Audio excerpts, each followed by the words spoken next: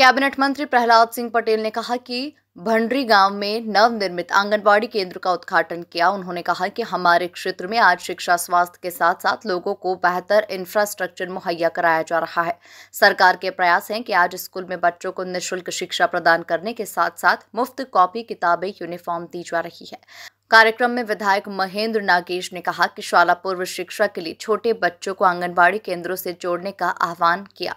विधायक महेंद्र नागेश ने कहा कि केंद्रों पर खेल खेल एवं मनोरंजन के साथ साथ पढ़ाई की भी सुविधा उपलब्ध करवाई जा रही है। नवनिर्मित आंगनबाड़ी भवन लोकार्पण कार्यक्रम में बीजेपी के कार्यकर्ता जनप्रतिनिधि उपस्थित रहे। और इस गाँव के लोगों के लिए भी ये सीख है। सम्मानीय विशाल जी द्वारा अगर किसी सार्वजनिक कार्य के लिए जगह नहीं है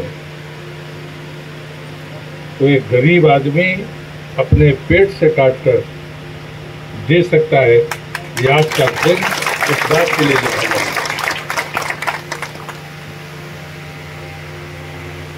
मंच पर उपस्थित गोटे गाँव के विधायक सम्मानीय महेंद्र नागेश कोटेगांव से मनीष मिश्रा संवाददाता।